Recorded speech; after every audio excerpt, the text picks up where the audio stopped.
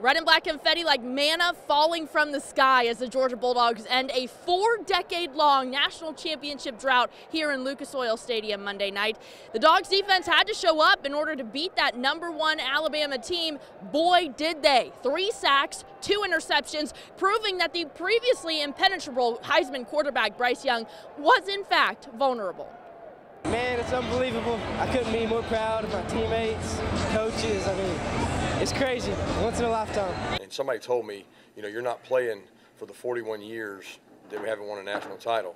You're playing for the men in the room, and that really touched me because that's that's what it was all about. Was those guys in the room. The, the tears afterwards, uh, that just hit me. Uh, uh, you know, I hadn't cried in I don't know years, but I mean that it just came over me. You know, that, that's what when you put as much time as, as, as we do into this thing, you know, blood, blood, sweat, tears, um, you know, it means something.